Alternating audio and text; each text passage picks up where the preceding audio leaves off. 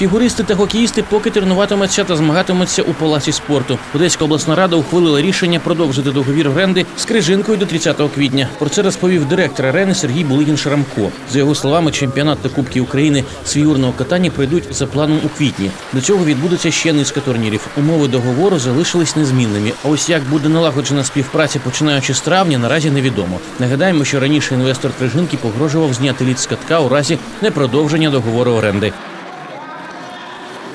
Мы договорились о том, что мы продлеваем дополнительным соглашением э, нахождение здесь льдинки нашей коммунальной установы до 30 апреля 2020 года.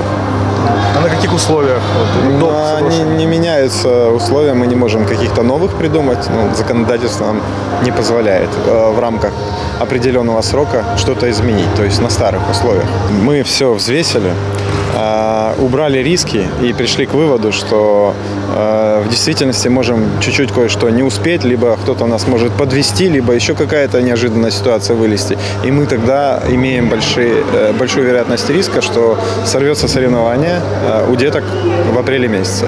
Поэтому все взвесив, мы приняли решение, основываясь на первом, то, что говорил наш глава облсовета, и я то же самое говорю, что для нас важна в первую очередь это спорт. То есть на этом основании мы и приняли решение, что давайте продлим, а дальше начнем заниматься хозяйственной деятельностью по-другому.